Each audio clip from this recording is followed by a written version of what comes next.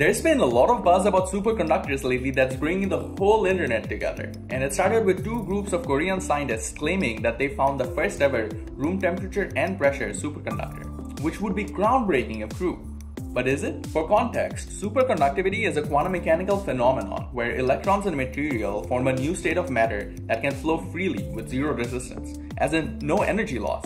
Can you imagine how efficient that would make our transmission lines? Superconductors also push out magnetic fields by Meissner effect. Such a material would revolutionize the modern world. But there's a catch. Most materials known to superconduct only do so at extremely low temperatures, or sometimes really high pressures.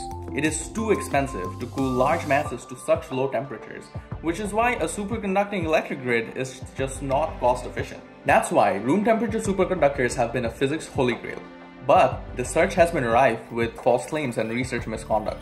So is LK99 the real deal? Find out in part 2 that's already on my channel.